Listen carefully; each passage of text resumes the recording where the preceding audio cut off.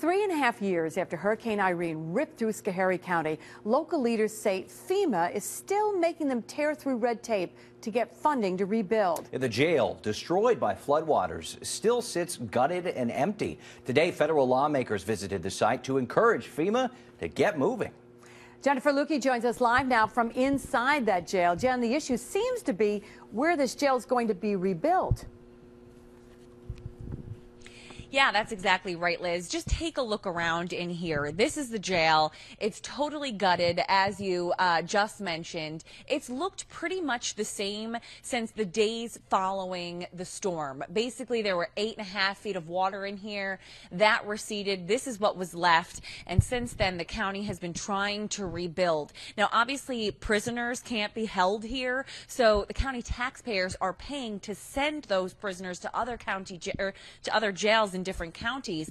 And the county says enough is enough. They finally enlisted help of all of their federal lawmakers and the governor to try and get FEMA moving. Where you stand now, there was eight feet, nine inches of water. Since that day, we have not been able to get back to where we belong to operate the sheriff's office and the correctional facility the way they should be operated. And that's because FEMA, the state and the county can't agree on where to rebuild the jail. FEMA is likely to pay 75% of the cost if the county rebuilds in its current location.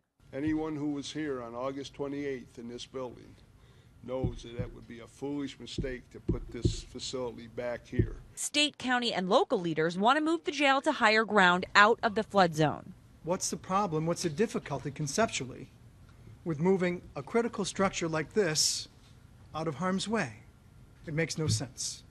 Especially since it'll cost $40 million to renovate and bring the current jail up to code and 37 million to move for less money than it would cost to fix this, we can build a new facility on high ground, just uh, a short distance away. While the negotiations and red tape continue, taxpayers are footing the bill, spending more than $80,000 a month to transport prisoners to other jails. Before the flood, Schoharie County was making nearly a million dollars accepting prisoners from other counties.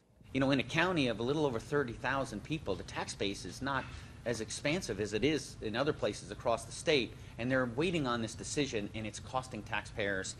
And these taxpayers, already distressed trying to recover from personal losses following Irene, need a break. Three and a half years is enough, Congressman Chris Gibson says, to decide what happens one way or the other. They have the resources to make this decision uh, and to address the needs.